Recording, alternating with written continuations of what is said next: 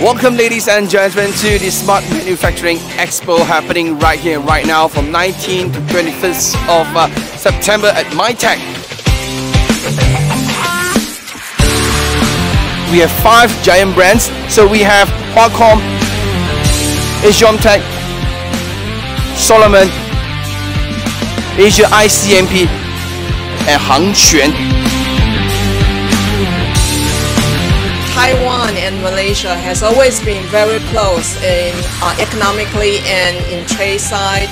And in recent years, our investment in Malaysia has surged uh, as well as our trade uh, between our two sides has been booming.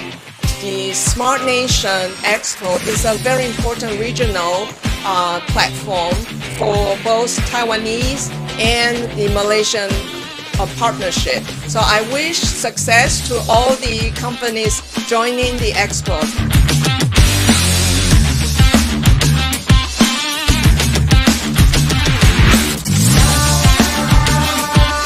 Smart manufacturing solution providers and more.